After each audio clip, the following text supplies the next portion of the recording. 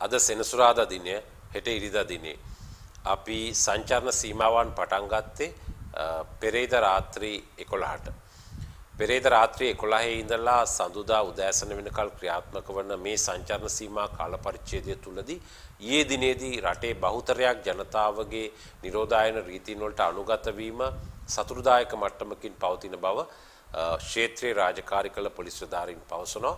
ඒ ඊට හොඳ ප්‍රවණතාවයක්. ඒ වගේම නිරෝධායන රීතීන් වලට අනුගතව කටයුතු කළ රටේ බහුතර අතිමහත් මහජනතාවට විශේෂයෙන්ම අපේ ප්‍රණාමය පුද කරනු ලබනවා. ඒ වගේම අද දිනේදීත් ඒ ආකාරයටම කටයුතු කරන්න හෙට දිනේදීත් ඒ ආකාරයටම කටයුතු කරන ලෙසට විශේෂයෙන්ම ඔබ සීලු දෙනාගෙන් ඉල්ලා සිටිනවා.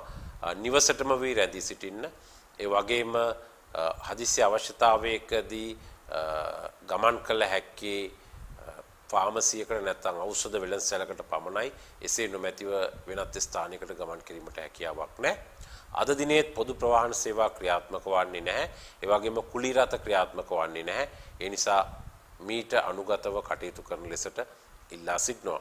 ඒ වගේම විශේෂයෙන්ම අපි ජනතාවට දැනුම් දෙන්නට කැමති නිරෝධායන රීතීන් යම් ආකාරයකට යම් තැනැත්තෙක් උල්ලංඝනය කරනවා නම් ඒ අයට එරෙහිව ඉතා දැඩිව ක්‍රියාත්මක කිරීමට බලාපොරොත්තු වෙනවා. ඊයේ දිනේත් අති බහුතරයක් 99ක් වූ මේ රටේ ජනතාව නිරෝධායන රීතීන් වලට අවනතව සංචරණයේ සීමා කරමින් කටයුතු කරද්දී 253 දෙනෙක්ගෙන් පිරිසක් ලංකාවේ විවිධ ප්‍රදේශවල නිරෝධායන රීතීන් වලට පටහැනිව කටයුතු කරලා තියෙනවා. ඒ අනුව පැය 24ක කාලය තුල 253 දෙනෙක් අත්අඩංගුවටගෙන තිබෙනවා. මේ දක්වා අත්අඩංගුවටගෙන ඇති මුළු සංඛ්‍යාව 9282ක් පමණ වෙනවා. නිරන්තරයෙන් මේ මෙහෙයුම අද දිනෙත් ක්‍රියාත්මක වෙනවා. ඔබගේ දායකත්වය මේ සඳහා අත්‍යවශ්‍ය වෙනවා. ඒ වගේම ඊයේ දින බස්නාහිර පළාතෙන් පිටතට ගමන් කරන, ඒ වගේම බස්නාහිර පළාත තුනට ගමන් කරන වාහන ස්ථාන 14කදී පරීක්ෂාවට ලක් කරනු ලැබුවා.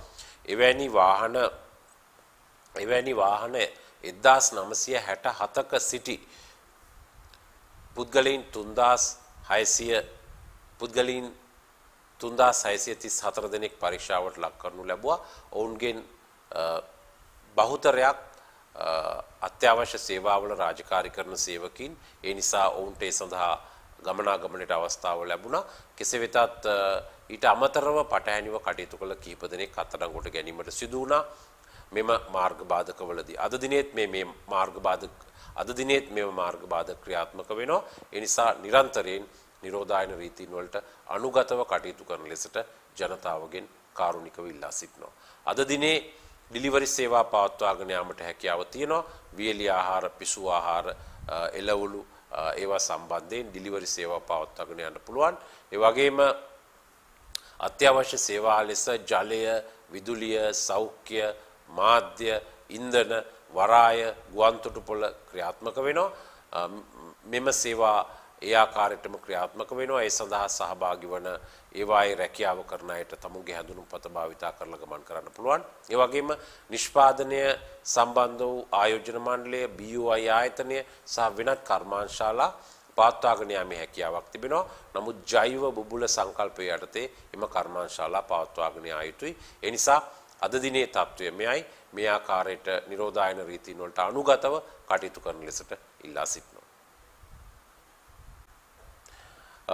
ඒ වගේම ලබන සඳුදා දිනේ එනම් සඳුදා උදෑසන 4 සිට නැවත එදින රාත්‍රී 11 දක්වා සාමාන්‍ය පරිදි රැකියා සඳහා යන්නේ ණයට රැකියා සඳහා ගමන් කිරීමට පුළුවන්. කෙසේ වෙතත් එදින සිට සෑම දිනකම රාත්‍රී 11 සිට පාන්දර 4 දක්වා පැය 5ක කාලයක් සංචරණය සීමා කරනවා. මේ ආකාරයටම ජනතාව නිවෙස්වල රැඳී සිටිය යුතුයි. වාහන වලින් ගමන් කිරීම ඒ වගේම පොදු ප්‍රවාහන සේවා යොදා ගැනීම එම රාත්‍රී කාලයන් තුල සපුරා තහනම් වෙනවා. කෙසේ වෙතත් හැඳුනුම්පත් අංක ක්‍රමය අනුවයි යම් රාජකාරියකට වාර්තා නොකරන රැකියාවක් සඳහා වාර්තා නොකරන රැකියාවකින් රැකියාවකට ගොස් නැවත නිවෙස් කරා නොපැමිණෙන අය හැඳුනුම්පත් ක්‍රමයට අනුගතව කටයුතු කිරීමට දැන්ම සිටම සැලසුම් කර යුතුයි. දින 14ක් කාලයක් මේ ක්‍රියාත්මක වෙනවා. 17 වෙනිදා 18 මේ ආකාරයට මැයි 31 දක්වා ඔබට ඔබගේ හැඳුනුම්පතේ අංකය ඔතු අංකයක් නම් දින 7ක් තියෙනවා මේ දින 14 කාලය තුල. ඒ වගේම ඉරටු අංකයක් නම් දින 7ක් තියෙනවා. ඔබේ සැලසුම් සිදු කරන්නේ ආකාරයට පවුලේ අනිත් අයත් සමග සාකච්ඡා කරලා සැලසුම් සිදු කරන්න ඔබට ගමන් කළ හැක්කේ ළඟම තියෙන වෙළඳ සැලකට පාරිභෝගික මධ්‍යස්ථානයකට පමණයි ඔබේ නිවසේ සිට හැඳුනුම්පත් අංක ක්‍රමයේ භාවිතා කර වෙනත් ස්ථානවලට ගමන් කිරීමේ හැකියාවක් නැහැ. කෙසේ වෙතත් කෙසේ වෙතත් අද දිනේ හෝ හෙට දිනේ හැඳුනුම්පත් අංක ක්‍රමය ගමන් කර හැඳුනුම්පත් අංක ක්‍රමය භාවිතා කර ගමන් කිරීමට හැකියාවක් නැහැ. ඔබ නිවසේම රැඳී සිටිය යුතුයි. මෙම අංක ක්‍රමය ක්‍රියාත්මක වන්නේ ලබන සඳුදා සිට 31 වෙනිදා දක්වා උදෑසන 4 සිට රාත්‍රී 11 දක්වා කාලය තුලයි. ඒ කාලය තුල ඔබේ ගමන් සියල්ල සැලසුම් කිරීමට කටයුතු කරන්න. ඒ වගේම අදත් හෙටත් දිනේදී මුළු රටේම සංචාරණය සීමා කරනවා. කෙසේ වෙතත් අනිද්දා එනම් සඳුදා පාන්දර 4ට එම සංචාරණ සීමාවන් ඉවත් කරනවා. මෙම සංචාරණ සීමාවන් ඉවත් කළත් ඔබ සිටින ඔබ පදිංචිව සිටින ඔබ නවාතැන්ගෙන සිටින ප්‍රදේශය හුදෙකලා කරන ලද ප්‍රදේශයක් හැටියට ප්‍රකාශයට පත් කරලා තියෙනවා නම් නිරන්තරයෙන් ඔබ එම ප්‍රදේශයේ අකණ්ඩව රැඳී සිටිය යුතුයි. ඔබට නිවසින් ගමන් කිරීමට හැකියාවක් නැහැ. ඔබේ නිවසේ රැඳී සිටිය යුතුයි. ඔබ මේ ප්‍රදේශයෙන් බැහැරට යන්නට බෑ. එම ප්‍රදේශය තුලට කිසිවෙකුට ගමන් කරන්නට හැකියාවක් නැහැ. ඒ නිසා කොවිඩ් මධ්‍යස්ථානය හෝ ප්‍රාදේශීය සෞඛ්‍ය බලධාරීන් විසින් ඔබ සිටින ගම, ඔබ සිටින ප්‍රදේශය, ඔබ සිටින මහල් නිවාස සංකීර්ණයේ හුදෙකලා ප්‍රදේශයක් ලෙස ප්‍රකාශයට පත් කරලා තියෙනවා නම් සඳුදා උදෑසන 4ට සංචාරණ සීමා ඉවත් කළත් ඔබ අකණ්ඩව එම ප්‍රදේශයේම රැඳී සිටිය යුතුයි. එම නිවසේම රැඳී සිටිය යුතුයි. මේ ගැන අවධානයෙන් යුතුව කටයුතු කරන්න. ඉදිරියේදී කුමන හෝ දිනයක ඔබේ ප්‍රදේශය හුදෙකලා බවින් ඉවත් කරන තුරු ඔබ රැඳී සිටිය යුතුයි. ඔබට හැඳුනුම්පත් ක්‍රමවේදය හෝ වෙනත් ක්‍රමවේදයන් අදාළ වන්නේ නැහැ. හුදෙකලා කරන ලද ප්‍රදේශවල ජනතාව ඒ ආකාරයටම හුදෙකලා නියෝගය ඉවත් කරන තුරු රැඳී සිටිය යුතුයි. එසේ රැඳී නොසිටිය හොත් ඔවුන් නිරෝධායන රීතීන් උල්ලංඝනය කිරීමකට සේ සලකා කටයුතු කිරීමට සිදු වෙනවා. මේ නිසා මේ ගැන අවධානයෙන් කටයුතු කරන ලෙසට සියලු දෙනාගෙන් ඉල්ලා සිටිනවා.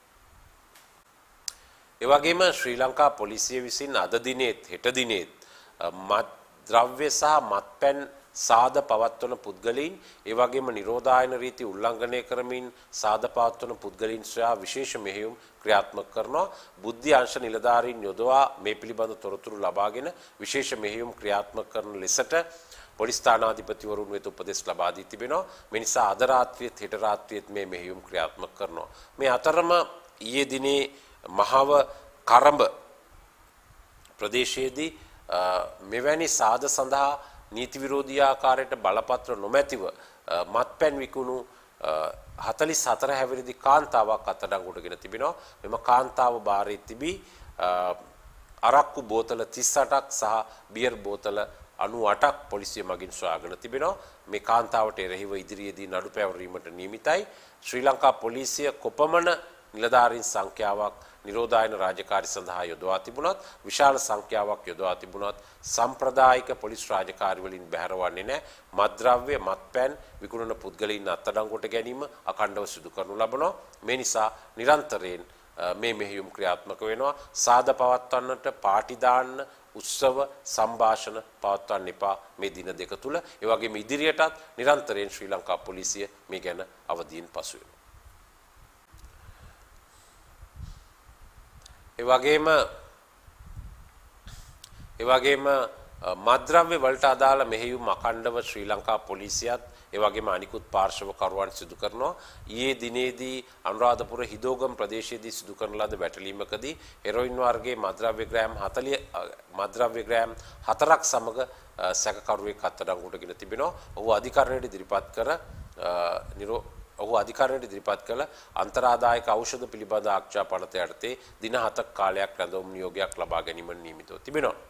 ඒ වගේම ඊයේ දින බන්ධනාගාර නිලධාරීන් විසින් වැලිකඩ බන්ධනාගාරයේ වාට්ටුවක රඳවා සිටි රැඳවියෙකු වන 20 එක් හැවිරිදි පුද්ගලයෙකු බාරයේ තිබී හෙරොයින් වර්ගයේ මත්කුඩු ග්‍රෑම් 40ක් සොයාගෙන තිබෙනවා. ඒ වගේම මොහු පහළ බෝමිරිය ප්‍රදේශයේ පදිංචි මද්‍රව්‍ය වර්ධකට බන්ධනාගාරගතව සිටි අයෙකු බවටයි වාර්තා වෙන්නේ. මේ සම්බන්ධ වැඩිදුර විමර්ශන සඳහා බොරැල්ල පොලිස් ස්ථානය වෙත බාර දී තිබෙනවා. බොරැල්ල පොලිසිය මගින් මේ සම්බන්ධ විමර්ශනයක් ආරම්භ කර තිබෙනවා. දීර්ඝ කාලයක් බන්ධනාගාර ගතව සිටින මෙවැනි පුද්ගලයෙකු බාරයට හෙරොයින් මද්‍රව්‍ය පත්තුනේ කුමන ආකාරයටද පිළිබඳව මෙහිදී විමර්ශන සිදු කිරීමට ශ්‍රී ලංකා පොලිසිය බලාපොරොත්තු වෙනවා. මොහුට මද්‍රව්‍ය ලබා දුන්නේ කවුද? කුමන ස්ථානයකින්ද මේ සඳහා ආධාර අනුබල දුන්න අයවරුන් කවුරුන්ද යන්න පිළිබඳව සොයා බලමින් විමර්ශන සිදු කරනු ලබනවා. තවදුරටත් මේ විමර්ශන ක්‍රියාත්මකයි. ඔබටත් පුළුවන් මද්‍රව්‍ය බත්පැන් සම්බන්ධව යම් තොරතුරක් තිබෙනවා නම් දැනුම් දෙන්නට අපගේ අංකය 19යි 97